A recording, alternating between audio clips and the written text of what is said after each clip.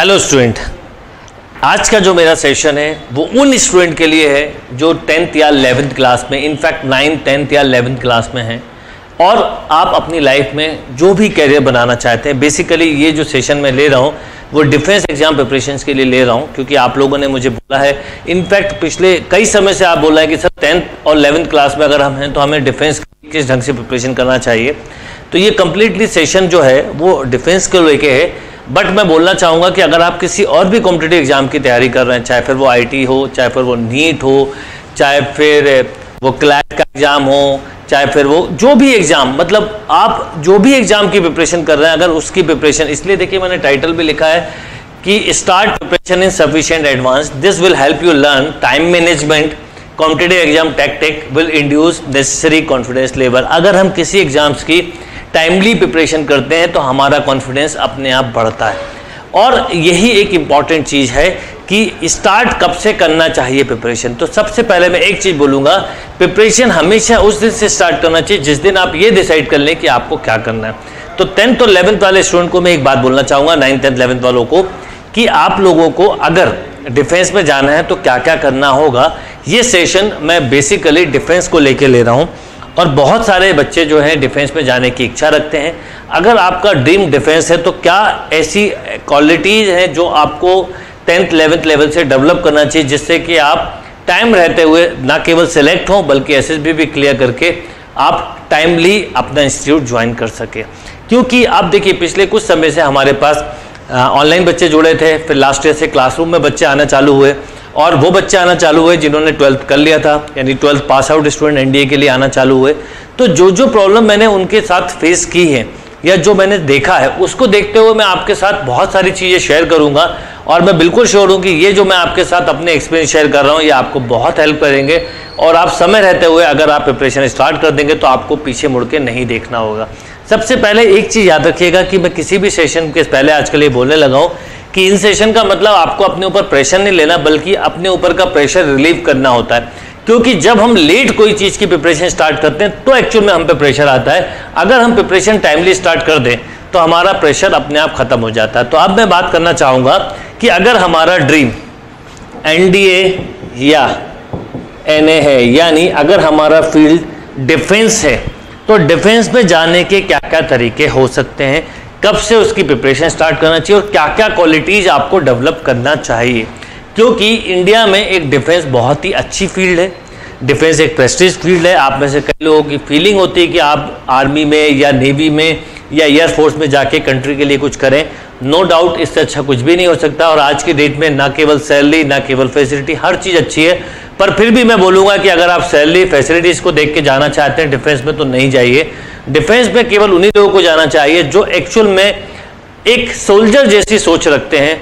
उनके लिए ही ये डिफेंस फ़ील्ड बनी और इसीलिए अगर हम समझें कि डिफेंस में कितने बच्चे हर साल सिलेक्ट होते हैं क्या क्या तरीके हैं तो मैं बहुत डिटेल में आपके साथ ये सेशन डिस्कस करने वाला हूँ। इसलिए सेशन को पूरा एंड तक ज़रूर देखिएगा, जिससे कि जो जो आपके डाउट्स हैं कन्फ्यूज़न है, वो सब दूर होंगे। और फिर भी सेशन के बाद कोई डाउट आए तो अपना क्वेश्चन भेजिए। मैं इस सेशन से रिलेटेड भी जो आप डाउट भेजेंगे, उसका भी मैं आपके साथ डिस्कशन करूँगा।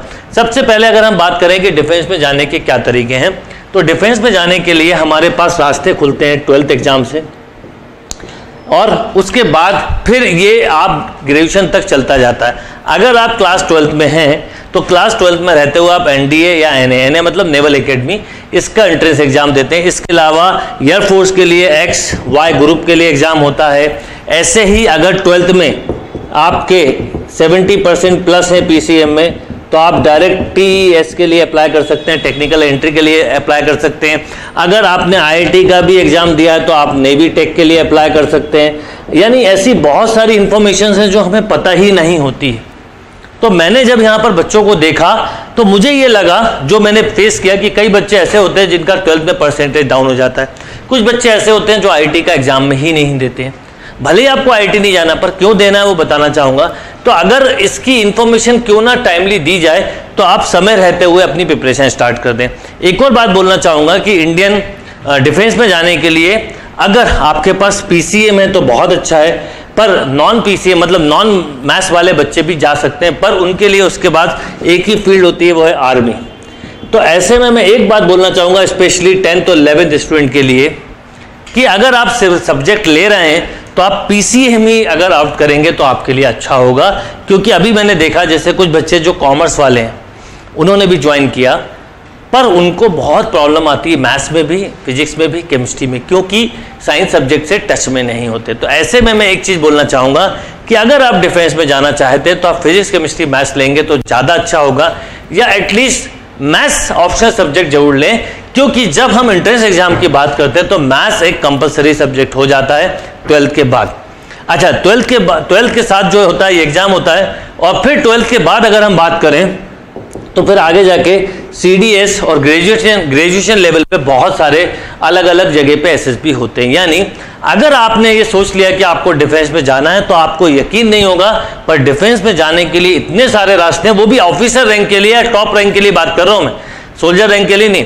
यानी इतने सारे रास्ते हैं जो पता ही नहीं होंगे। यानी अगर हम देखें कि नेवी में जाने के लिए करीब करीब सत्रह अट्ठारह अलग अलग तरीके हो सकते हैं बट ट्वेल्थ के समय तक कम होते हैं ट्वेल्थ के बाद ग्रेजुएशन लेवल पे ज़्यादा होते हैं। यानी अगर आप एनसीसी सर्टिफिकेट है सी सर्टिफिकेट आप डायरेक्ट अप्लाई कर सकते हैं। अगर आपका ट्वेल्थ में परसेंट अच्छा है तो कर सकते हैं। बी में परसेंट अच्छा है तो कर सकते हैं। ग्रेजुएशन में परसेंट अच्छा है तो कर सकते हैं। और ये सब तीनों तीनों स्ट्रीम में कर सकते हैं। यानी आर्मी में डिफेंस में आर्मी में या एयरफोर्स में या नेवी में। तो अब मैं बात करना चाहूँगा कि आपको क्या चीज़ें हैं जिसको समय रहते हुए डेवलप करना चाहिए। क्योंकि आप रिटर्न एग्ज़ाम तो समझ लेंगे, पर एक आपको एसएसबी भी देना होता है। और एसएसबी में क्या क्वालिटीज आपके अंदर होना चाहिए, वो चीज़ समझिए। कई बच्चे रिटर्न निकाल लेते हैं, पर एस में आउट हो जाते हैं। या कई बच्चे लेट प्रिपरेशन स्टार्ट करते हैं, इसलिए उनके एनडीए के अटेम्प्ट खत्म हो जाते हैं, और फिर उनको आगे जाके सीडीएस वगैरह देना होता है। पर अगर मैं आपके साथ ये सेशन शेयर कर रहा हूँ, ले रहा हूँ तो मैं श्योर हूँ कि अगर आपने समय रहते हो मतलब अगर टेंथ इलेवेंथ में और आपने पॉजिटिव माइंड से अगर आपका मन है जाने का तो ये सेशन इंपॉर्टेंट है। मेरा कोई प्रेशर नहीं कि आपको डिफेंस में जाना है। बस मेरा ये कहना है कि अगर जाना है तो समय रहते हुए प्रिपरेशन स्टार्ट करें। क्योंकि एक चीज़ मैं आपको बताना चाहूँगा, गुरुकुल में बहुत सारे ऐसे बच्चे भी जो ऑनलाइन कोर्स से टेंथ से ही जुड़ गए। टेंथ और इलेवेंथ से। और मैं बिल्कुल श्योर हूँ कि अगर इन्होंने वो चीज़ करी जो मैंने इनको बोली है तो इनको फ़र्स्ट अटेम्प्ट में ही आराम से रिटर्न भी निकालेंगे एज वेल एस भी। तो अब मैं आपको बताना चाहता हूँ, सबसे पहले अगर हम बात करें कि और याद रखिएगा ट्वेल्थ के समय एनडीए की जो प्रिपरेशन होती है, उससे आप चाहे वो एक्स वाई ग्रुप हो, चाहे कोई भी हो, आप सभी तरह के एग्ज़ाम निकाल सकते हैं। जैसे ग्रेजुएशन में अगर किसी ने सीडीएस की प्रिपरेशन की है तो डिफरेंट डिफरेंट जो जो एग्ज़ाम होते हैं डिफेंस के लिए, उन सब के सिलेबस का पार्ट वही होता है। वैसे ही ट्वेल्थ में अगर आपने एनडीए के लिए तैयारी की यानी आपने एक तरह से जो जो ट्वेल्थ के साथ एग्ज़ाम होंगे या वो SSB होंगे, उसमें आपको कुछ अलग से नहीं पढ़ना होगा। अब सबसे पहले हम बात करें कि इस एग्ज़ाम के नेचर के बारे में। राइट इस एग्ज़ाम के नेचर के बारे में। तो सबसे पहले एनडीए के लिए लगभग 16 एंड हाफ़ से 19 एंड हाफ़ के बीच में आपकी एज होना चाहिए। अगर आप इस एज के हैं तो आप एलिजिबल हैं। उसमें एक वो डेट ऑफ़ बर्थ दी रहती जनवरी और जून। उस डेट के अकॉर्डिंग आपको चेक करना होता है। अब नंबर वन बात आती है कि आपको जो आप एग्ज़ाम देते हैं, उसमें क्या क्या होता है? उसमें एक होता है मैथ्स का पेपर जो कि 300 मार्क्स का होता है, जिसमें इलेवेंथ और ट्वेल्थ का मैथ्स होता है। और एक होता है जीएटी का पेपर जिसमें कि जीएस हो इंग्लिश होता है सबसे पहले 200 मार्क्स का, लगभग जीएस होता है 200 मार्क्स का 100 मार्क्स का फिजिक्स होता है 50 मार्क्स का केमिस्ट्री मान लो और 50 मार्क्स का बायो। यानी ये टोटल जो होता है 300 मार्क्स ये टोटल 600 मार्क्स। और जब कोई बच्चा रिटर्न क्लियर कर लेता है इंडिविजुअल इन दोनों के कट ऑफ़ चेक किए जाते हैं। अगर कोई बच्चा नॉर्मली 110, 120, 130 हर साल के पेपर डिपेंड करते हैं इस रेंज में लाता है तो वो मैथ्स का कट ऑफ़ क्लियर करता है और इसमें 180 से 250 के बीच में जो भी कट ऑफ़ फिर बच्चे एसएसबी के लिए जाते हैं और एसएसबी का आपका प्रोसीजर होता है फाइव डेज़ का, जो मैं आपके साथ डिस्कस करना चाहूँगा। इसमें फिर आपकी वो क्वालिटी देखते हैं। कई लोग बहुत ज़्यादा कन्फ्यूज़न में होते हैं कि एसएसबी मतलब ग्राउंड ट्रेनिंग में आपको बता दूँ एसएसबी मतलब ग्राउंड ट्रेनिंग नहीं एसएसबी मतलब साइकोलॉजिकल ट्रेनिंग होती है। यानी वो आपकी जो एक्चुअल में टेस्ट करते हैं, वो आपको देखते हैं कि मेंटली आप कितने स्ट्रांग हो। जो बंदा मेंटली बहुत स्ट्रांग होता है, वो बंजा, बंदा फाइनली एसएसबी में सिलेक्ट होता है। आप इस चीज़ को समझने की कोशिश करिए। जैसे अभी आपने एक चीज़ देखी होगी कि हमारा एक सोल्जर, जो मैं आर्मी ऑफिसर, पाकिस्तान की बॉर्डर पे गिरा, अभिनंदन। उसने कितने 30 सेकंड के डिफरेंस के वजह से वो उस बॉर्डर में चला गया। पर सबसे पहले उसने क्या किया? सारे डॉक्यूमेंट्स को डिस्ट्रॉय किया, खा गया। उसके बाद जो भी टॉर्चर हुआ होगा, जो भी कुछ हुआ होगा, उसके बाद भी देखिए कैसे वापस आया। यानी मेंटली कितना स्ट्रांग रहा होगा। इसी वजह से वो सारी चीज़ों को फेस कर पाया। वही चीज़, वो क्वालिटी कोई उस दिन नहीं आई, वो क्वालिटी डे बाय डे आती। तो अगर आप समय रहते हुए इस बात के लिए प्रिपरेशन स्टार्ट करेंगे तो आप भी एक अच्छे ऑफिसर बनेंगे और मैं चाहूँगा कि आप इंडिया के एक अच्छे सोल्जर्स में, एक अच्छे ऑफिसर्स में आए तो आपको इसका फ़ायदा मिलेगा राइट अब बात करते हैं कि क्या चीज़ है। तो नंबर वन कि हमें क्या क्या क्वालिटी डेवलप करना चाहिए। अगर हम डिफेंस में टॉप लेवल पे जाना चाहते हैं ऑफिसर लेवल पे तो जस्ट लाइक like हम खुद भी ऑफिसर लाइक like सोचें, हम एक मेजर एक कर्नल की तरह सोचना चालू करें, वो एक क्वालिटीज़ है। और याद रखिएगा कि अगर आप सोचते हैं आईआईटी एक एग्जांपल दे रहा हूँ आईआईटी और एनडीए साथ हो सकता है तो मैं बोलूँगा आईआईटी में अलग चीज़ है एनडीए के लिए अलग क्वालिटी लगती है, या मेडिकल के लिए हर एग्ज़ाम में डिफरेंट डिफरेंट क्वालिटी होती है। एनडीए में एक बच्चा, वो जो ऑलराउंडर है, वो सबसे अच्छा होना चाहिए। मतलब अगर आप किसी स्पोर्ट्स से जुड़े हैं, बहुत अच्छी बात है। आपकी जनरल नॉलेज बहुत अच्छा होना चाहिए। आपका करंट अफेयर्स अच्छा होना चाहिए। आपको वर्ल्ड हिस्ट्री पता होना चाहिए। आपको इंडिया में वर्ल्ड मैप की पूरी बेसिक ज़ीरो लेवल से लेकर एडवांस लेवल तक नॉलेज होना चाहिए। यानी जब हम डिफेंस की बात करते हैं तो हमारा एक नॉलेज लेवल डिफरेंट लेवल पे होगा। और जब हम आईआईटी की या किसी और एग्ज़ाम की, जैसे हम आईआईटी की बात करें तो हमारा फिजिक्स, केमिस्ट्री, मैथ्स बहुत अच्छा होना चाहिए। राइट हम सब्जेक्ट को अच्छा कमांड करें, पर जब हम डिफेंस की बात करते हैं तो हमारा इन ऑल पर्सनालिटी चेक होने वाला है, इसलिए हमें कुछ हैबिट्स को चेंज करना होगा। अब मैं बात करता हूँ, लगभग एवरी ईयर 2.5 से 3 लैक्स के बीच में बच्चे अपेयर होते हैं, एक बार के एग्ज़ाम में। अब समझिएगा जो मैं आपको बता रहा हूँ डेटा इसमें से लगभग 7 टू 8000 के बीच में फ़र्स्ट राउंड में सिलेक्ट होते हैं। और इसमें से लगभग केवल 350 से 380 के बीच में फाइनल एसएसबी में सिलेक्शन होता है। यानी आप खुद सोचें कि तीन लाख लोगों में केवल 300 से 400 बच्चे सिलेक्ट होते हैं। मतलब परसेंटेज कितना कम है, ये बात मुझे लगता है आप समझ सकते हैं। लगभग हज़ार बच्चे में, एक अप्रोक्सीमेट बता रहा हूँ वन थाउज़ेंड स्टूडेंट में से केवल एक स्टूडेंट सिलेक्ट हो पाता है। यानी आप सोचिए, अब आप ये सोच के हो सकता है, आप सोचें, टफ है। मैं बोलूँगा एग्ज़ाम टफ नहीं है। एक्चुअल में वो एक बच्चा वो होता है जिसमें वो सारी क्वालिटी होती है, जो उनको चाहिए। यानी जो डिफेंस में एक क्वालिटी लगती है बेसिक वो क्वालिटी चाहिए। क्योंकि ऑफिसर रैंक पे जा रहे हैं, यानी आपको एक बहुत बड़ी टीम को मैनेजमेंट करना है। यानी आपकी मैनेजमेंट क्वालिटी कैसी है विल पावर कैसी है मेंटली कैसे स्ट्रांग हो, ये सब बातें। इसलिए कई बार जब बच्चे ट्वेल्थ से प्रिपरेशन स्टार्ट करते हैं तो फ़र्स्ट, सेकेंड अटेम्प्ट नहीं हो पाता, इसलिए वो कई बार एक बार, दो बार, तीन बार, चार बार देते हैं कभी कभी लास्ट अटेम्प्ट तक नहीं होता, इसलिए फिर उन्हें सीडीएस या आगे के लिए देना पड़ता है। ये इसलिए होता है क्योंकि कई बार लेट प्रिपरेशन स्टार्ट की गई होती है। तो इसलिए मैं चाहता हूँ कि ये सेशन का मेरा पर्पज़ है कि आप टाइम रहते हुए प्रिपरेशन स्टार्ट करेंगे तो फिर आपको कभी भी पीछे मुड़ के नहीं देखना होगा। यही चीज़ मैं इस सेशन के थ्रू आपको देना चाहता हूँ। बहुत ही स्ट्रांगली मैसेज कि आप इस बात को समझिए। अगर आपका ड्रीम क्योंकि मैं इस बार टेंथ इलेवेंथ वाले बच्चों के लिए हर एक टॉपिक पर अलग अलग सेशन लूँगा जो आपके प्रॉब्लम्स हैं। पर जिस टॉपिक पे लूँगा, पूरे समय उसी पे बात करूँगा। तो आप क्या इनर क्वालिटी है जो आपको डेवलप करना चाहिए? सबसे पहले मैं एक चीज़ बोलूँगा कि, और कई बच्चे ये सोचते हैं कि पहले हम एसएसबी की प्रिपरेशन कर लें, फिर रिटर्न टेस्ट की और उसके लिए कई बार वो एसएसबी की कहीं पर ट्रेनिंग भी कराते हैं। टेंथ इलेवेंथ वाले बच्चे, मैं एक बात आपको बहुत क्लियर कर दूँ कि एसएसबी की ट्रेनिंग उस दिन से स्टार्ट होती है जिस दिन आप ये सोचते हो कि आपको डिफेंस में जाना बट उसके लिए क्लासरूम की ज़रूरत पहले नहीं, बाद में पड़ती है। जब आप रिटर्न निकाल लो, उसके पहले क्या चीज़ें हैं जो आपको डेवलप चाहिए? अगर वो आपने समय रहते हुए कर ली तो हो सकता है आपको ज़रूरत ना पड़े। मैंने अभी बोला कि जो एसएसबी में आपकी टेस्टिंग होती है, उसमें ग्राउंड टेस्टिंग से ज़्यादा साइकोलॉजिकल और मेंटल टेस्टिंग होती है। आप टीम को कैसे मैनेज करते हो? आपका वे ऑफ़ टॉकिंग क्या है? आपका ग्रुप में परफॉर्मेंस कैसा है? आप ग्रुप में जब ग्रुप डिस्कशन होता है तो आप उसमें कैसे परफॉर्म कर रहे हैं? आपकी बॉडी लैंग्वेज क्या है? आप क्या सोचते हो? आपको इमेज दी जाती है तो आप उस पर क्या स्टोरी लिखते हैं? सिचुएशन को कैसे हैंडल करते हैं? टफ से टफ सिचुएशन को हैंडल करना आता है कि नहीं? मैंने अभी एक बहुत अच्छा नाम लिया अभिनंदन जी का। आपने देखा कि उन्होंने किस तरह से अपने आप को किस सिचुएशन में हैंडल किया।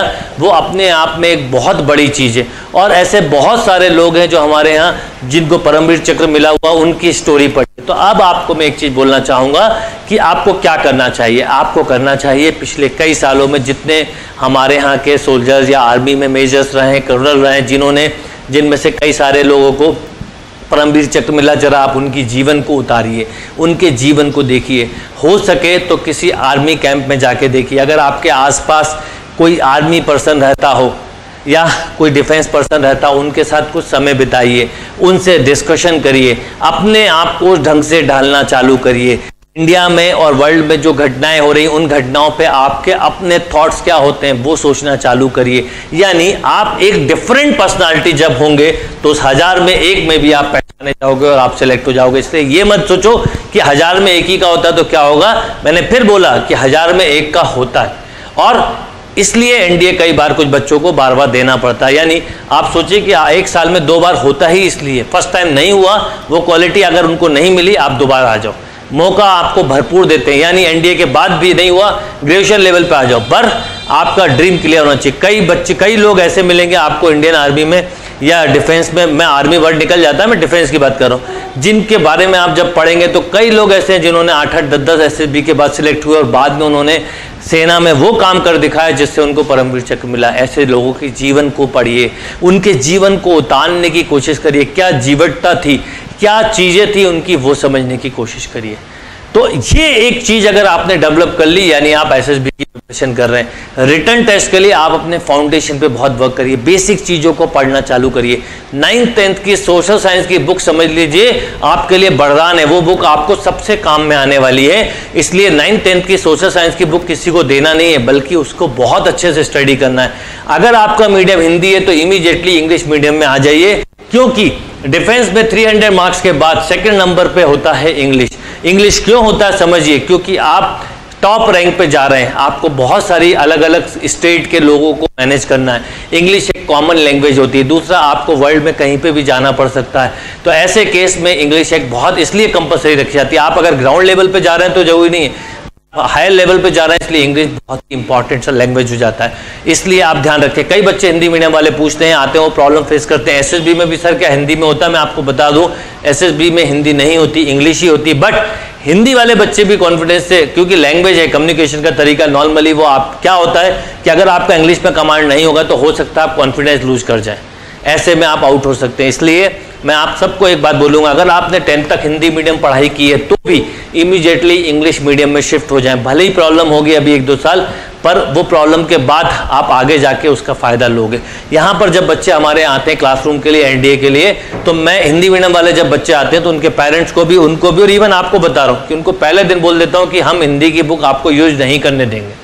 इंग्लिश की बुक से पढ़ना है टेस्ट पेपर भी इंग्लिश में देंगे, सब कुछ। कई बच्चे ऐसा बोलते हैं कि, सर, आप बोल रहे हैं, वो तो पेपर तो हिंदी में भी आता है। बिल्कुल सही है।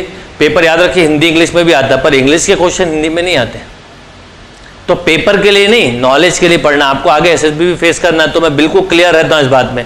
इस वजह से कई बार दो चार बच्चे ऐसे भी होते हैं, जो नहीं करते मेहनत, वो निकल जाते हैं। पर मोस्टली बच्चे जो रुक जाते हैं और बुक भी इंग्लिश की थोड़े दिन प्रॉब्लम होती है, फिर धीरे धीरे आदत पड़ जाती वो एक इंपॉर्टेंट सब्जेक्ट है, उसको आप छोड़ नहीं सकते। तो अगर आप टेंथ इलेवेंथ में हो और अभी से आपने इस चीज़ के लिए अपने आप को तैयार कर लिया तो आपकी प्रॉब्लम ही खत्म हो जाएगी।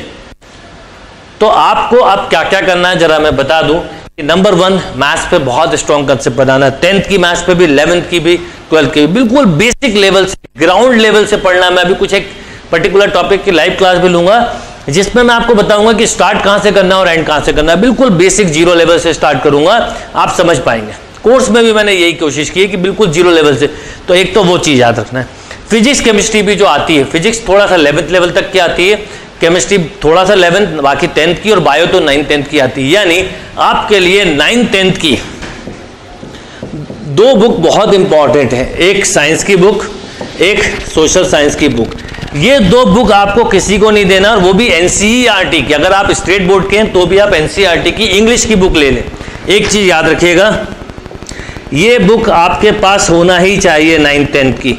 इससे आपको पढ़ना है। दूसरा, आप एनडीए के प्रीवियस ईयर की कोई बुक ले लें जिसमें क्वेश्चन हो पिछले पंद्रह साल के, जिससे कि आप उस पैटर्न की एक्चुअल स्टडी कर पाए। एक्चुअल स्टडी कर पाए, इसलिए वो बुक ले लें। तो मैं यहाँ पर बोलना चाहूँगा कि ये एक चीज़ हुई। दूसरा न्यूज़पेपर की आपको आदत होना चाहिए रीडिंग की, और न्यूज़पेपर हिंदी न्यूज़ पेपर नहीं पढ़ना है। इंग्लिश न्यूज़पेपर ही पढ़ना है। जब आप अपनी हैबिट्स को चेंज करेंगे तो उसके रिज़ल्ट लॉन्ग टर्म मिलेंगे। शॉर्ट टर्म नहीं। याद रखिएगा, जो बॉडी लैंग्वेज होती है, वो एक दिन में पॉजिटिव नहीं होती। उसमें कई दिनों का इन्वॉल्वमेंट होता है, कई दिनों के इनपुट होते हैं, जब जाके वो पॉजिटिव कन्वर्ट होती है। तो ये बात ध्यान रखिएगा कि आप इंग्लिश न्यूज़पेपर पढ़िए। न्यूज़पेपर में भी कहाँ एक्सीडेंट हुआ वो नहीं। वर्ल्ड में क्या हो रहा है वर्ल्ड हिस्ट्री करेंट अफेयर्स की क्या क्या चीज़ें हो रही हैं, उनके एक प्रॉपर नोट्स बना के चलिए। हाइलाइटर पेन लेके चलिए, पेपर में हाईलाइट करिए और फिर उसके बाद कॉपी में नोट्स बना के रखिए। मैं बोल रहा हूँ ना कि डिफेंस में जाने के लिए आपका पर्सनालिटी, आपका कंसेप्ट बिल्कुल अलग होना चाहिए। इलेवेंथ आईआईटी जाने के लिए बिल्कुल अलग। अगर आपने ये सब चीज़ें करी तो आप रिटर्न टेस्ट के साथ साथ कहीं ना कहीं एसएसबी की प्रिपरेशन भी कर रहे हैं। आपकी हॉबीज क्या है? वो बिल्कुल क्लियर होना चाहिए। आपसे पहले दिन जब पर्सनल इन्फॉर्मेशन इन्फॉर्मेशन आपसे ली जाती है क्वेश्चन ईयर लिया जाता है तो उसमें हॉबी के ऊपर जो आप लिखते हैं उस पर कई क्वेश्चन पूछे जाते हैं। अगर आपकी हॉबी क्रिकेट है तो आपको ए टू जेड क्रिकेट के बारे में पता होना चाहिए। अगर आपकी हॉकी आपकी हॉबी हॉकी है तो हॉकी के बारे में। और इसीलिए मैं आपको बोलूँगा कि अगर आप एक कोई गेम ज्वाइन कर सकते हैं, कोई फ़िज़िकल गेम तो बहुत अच्छा होगा। नहीं तो कम से कम रनिंग रेगुलर होना चाहिए आपको। कम से कम पाँच, चार, पाँच किलोमीटर की रेगुलर रनिंग सिटअप पुशअप ये सब अगर आपके लाइफ स्टाइल में आ जाएगा तो इसका फ़ायदा आप लॉन्ग टर्म लोगे। क्योंकि हर चीज़ अगर पहले से करते चलोगे तो धीरे धीरे जैसे एक बच्चा जो अभी मैंने जिसका इंटरव्यू भी डाला, राज मेहुल पटेल का, आप देखना, उसका ट्वेल्थ में परसेंट बहुत कम था। उसके बाद भी वो फाइनली एसएसबी में सिलेक्ट हुआ, वो प्लेयर था फुटबॉलर और उसकी बॉडी लैंग्वेज बहुत पॉजिटिव थी। क्योंकि प्लेयर था तो वो अलग से दिखता था रिफ्लेक्ट करता था, वो चीज़ें आपको डेवलप करना चाहिए। आप टेंथ इलेवेंथ में, अगर आप ये सब करेंगे तो फ़ायदा मिलेगा। यानी आपको अपने आप को डेवलप करने के लिए हर समय देना चाहिए। तो क्या होता है कि डिफेंस में इलेवन ट्वेल्थ के परसेंट मैटर नहीं करते, पर परसेंट अच्छे होने के फ़ायदे क्या होते हैं वो बताता हूँ।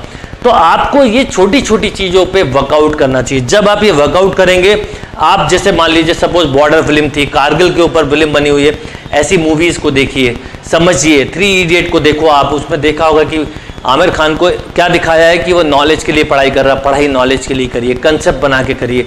फिजिक्स केमिस्ट्री मैथ्स पे बहुत अच्छे से डीपली नोट्स बना के पढ़ाई करिए। बहुत ज़्यादा नहीं पढ़ना है, पर कंसेप्ट बना के पढ़ना है। ये छोटी छोटी हैबिट्स को अगर आपने डेवलप किया तो क्यों नहीं आपका फ़र्स्ट अटेम्प्ट में होगा क्यों नहीं एसएसबी में सिलेक्शन होगा? कोई रीजन ही नहीं है। अपने आप से पूछे कि जो बच्चे रिजेक्ट होते हैं, वो आपको समझ में आएगा, वो ऐसा नहीं करते। कहने से डिफेंस में नहीं जा सकते, वो डिफेंस वाली क्वालिटी होना चाहिए। कहीं पर अगर एक्सीडेंट हुआ तो आपका रिएक्शन क्या, आप क्या एक्शन लेते हैं? ये इंपॉर्टेंट चीज़ है। आपने देखा होगा कि इंडियन आर्मी में या जो भी, जिस भी फोर्स में मतलब डिफेंस में जो लोग रहते हैं, जब भी कभी कहीं प्रॉब्लम होती है, वो हर जगह हेल्प करने पहुँचते हैं। यानी आपका कितना हेल्पिंग नेचर है आप परिवार के साथ कैसे रहते हैं? छोटी छोटी बातें हैं जो डेवलप करनी है। अब बात आती है कि इस सब के साथ मैं एक चीज़ बोलना चाहूँगा कि एनडीए एनए तो एक रिटर्न एग्ज़ाम है, पर आपके पास डायरेक्ट एसएसबी जाने का भी तरीका है, क्योंकि आप टेंथ में हैं इलेवेंथ में हैं। अगर आपने ट्वेल्थ में 70 परसेंट एलिजिबिलिटी क्राइटेरिया होता है टी के लिए टेक्निकल एंट्री के लिए बट नॉर्मली 80 परसेंट वाले बच्चों का कॉल आता है।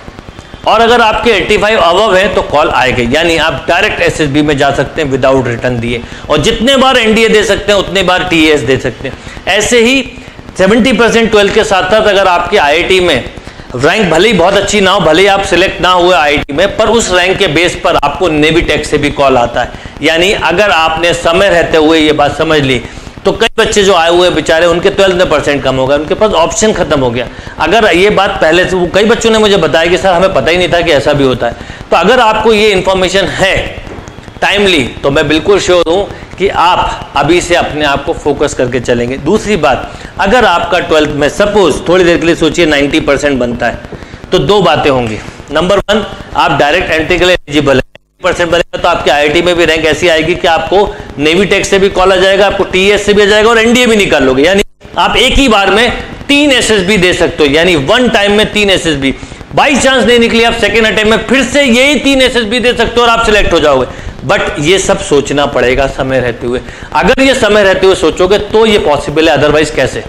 अब मैं बात करता हूँ, पहला तो ये फ़ायदा आप डायरेक्ट एसएसबी के लिए दूसरा एडवांटेज दूसरा मेन एडवांटेज कि अगर ट्वेल्थ में 90 परसेंट है या ट्वेल्थ में 90 परसेंट आते ही उसके हैं जिसका सिलेबस कंप्लीट होता है। अच्छे से सिलेबस कंप्लीट होता है, जिसका बेस प्रिपरेशन अच्छा होता है, और जिसका बेस प्रिपरेशन अच्छा होता है, वो एनडीए के पेपर को बहुत इजीली निकाल सकता है, उसमें कोई डाउट ही नहीं है।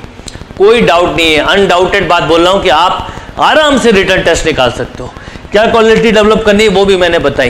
तो इसका मतलब ये हुआ कि अगर हम अच्छे से समय रहते हुए पढ़ाई करेंगे तो हमारा अपने आप ही जो मैंने इसलिए लिखा है कॉन्फिडेंस लेवल आपका अपने आप इतना हाई होगा कि आप जब पहला एग्ज़ाम दे रहे होगे, वो आप क्लियर कर चुके होगे। केवल प्रॉब्लम मुझे यहाँ पर जब बच्चे आते हैं, उनके साथ एक ही दिखती है। प्रॉब्लम ये नहीं कि उनको में नहीं जाना प्रॉब्लम ये भी नहीं कि वो मेहनत नहीं करना चाहते। प्रॉब्लम ये कि उन्हें समय रहते हुए कोई बताने वाला नहीं था, या पता होने के बाद भी उन्होंने एक्शन नहीं लिया। रखिए डिफेंस में एक सबसे इंपॉर्टेंट चीज़ होती है। आपका अगर एक्शन का एक सेकंड भी लेट हुआ तो आपकी जान जा सकती है। आप सोचिए, जब बॉर्डर में सोल्जर लड़ रहे होते हैं तो एक सेकंड इधर या उधर से गोली में लेट होने पे किसी की भी जान जा सकती है। यानी डिफेंस वाले बच्चे को एक एक सेकंड की वैल्यू पता होना चाहिए। एक सेकंड का डिसीज़न आपकी जान बचा सकता है या जान ले सकता है आपकी। इसका मतलब है कि action is most important word और लोग प्रॉब्लम यही होती है बच्चे आते हैं, देर से जागते हैं, वो एक्शन नहीं लेते। सोच तो लेते हैं नाइन्थ टेंथ में कि हमें डिफेंस पे जाना है, पर उसके लिए इनिशिएटिव है। वो एक्शन अगर ले लें तो अपने धीरे धीरे उनकी बॉडी लैंग्वेज ऐसी हो जाएगी कि जब आप एसएसबी में जाओगे तो जो आपको चेक कर रहा होगा, वो आपको वैसे ही सिलेक्ट करेगा। वो चेक क्या कर रहा होता है? आपको क्या लगता है? वो चेक ये कर रहा होता है कि इस बंदे का confidence level mental level psychological level कैसा है? अगर ये बंदा बहुत स्ट्रांग है, ये हर सिचुएशन को हैंडल कर सकता है, वो ले लेंगे आपको। अब मैंने आपको बोला कि जैसे राज है, मेहुल पटेल की बात कर, उसके ट्वेल्थ में 48 परसेंट के बाद भी लिया। कई बच्चे 80 परसेंट के बाद भी सिलेक्ट नहीं होते। परसेंटेज मैटर नहीं करता। वो एनडीए के थ्रू गया था, क्योंकि देखिए उसके ट्वेल्थ में परसेंट कम थे, ना वो टीएस दे सकता था, ना रेवी टेक दे सकता था। इसलिए मैं आपको समय रहते हुए बातें बता रहा हूँ कि इन छोटी छोटी बातों को अगर आपने एनालाइज कर लिया तो आपके लिए अच्छा होगा। आप ये सुन के कि राहुल के, राज के परसेंट कम आए ये सोचो कि मैं कम परसेंट पे भी निकाल लूँगा, इससे अच्छा ये सोचो कि मैं ज़्यादा परसेंट लाके हर एक एंट्री में जाऊँगा। ये सेशन थोड़ा लंबा है, पर मैं first time tenth level student के लिए ले रहा हूँ तो मेरे अंदर जो बातें हैं, वो मैं आपके साथ शेयर कर रहा हूँ। और मैं चाहता हूँ कि इन बातों को आप से अपने अंदर उतारिए। और इस तरह के सेशन अब आपको बहुत रेगुलर मिलेंगे। क्योंकि मुझे ऐसा लगता है कि अगर टेंथ और इलेवेंथ में हमने राइट एक्शन ले लिया तो ट्वेल्थ के बाद जो पहला अटैम्प्ट होता है, उसके बाद एसएसबी भी आप पहली बार में हो जाओगे। इसलिए इस बार के बैच में हमने एक चीज़ और करी कि एसएसबी की क्लास भी चालू कर दी साथ में, कि किस ढंग से आपको मेंटली तैयार करना है, किस ढंग से अपने आप को साइकोलॉजिकल तैयार करना है, किस ढंग से हमें अपने के तरीके बदलने होंगे। बिल्कुल याद रखिए कि जो सोल्जर्स होते हैं, जो आर्मी में लोग होते हैं, उनकी सोच अलग होती है। आपको, अपने आप को बहुत डिस्कनेक्ट करना होगा लोगों से। बहुत अलग लाइफ आपको जीने की आदत डालनी पड़ेगी। और आप हर सिचुएशन को अगर हैंडल कर सकते हो तो समझ लो आप डिफेंस के लिए बने और अगर आप हर सिचुएशन को फेस नहीं कर सकते तो डिफेंस के लिए नहीं बने। तो मैं यहाँ पर इतना ही बोलना चाहूँगा कि एक बहुत ही पहला सेशन था। आगे भी ऐसे सेशन लूँगा। तो आप एक चीज़ याद रखिए, अगर आप टेंथ पास आउट है इलेवेंथ में जा रहे हैं तो पीसीएम लेना है। बहुत ही बेसिक सब्जेक्ट बेसिक से पढ़ाई करनी है। और टारगेट करना है इलेवेंथ और ट्वेल्थ में 100 परसेंट सिलेबस कवर करो, जिससे कि आप 90 प्लस परसेंट कर पाओ। जिससे आप डायरेक्ट भी एस एसएसबी दे पाओ, एक चीज़।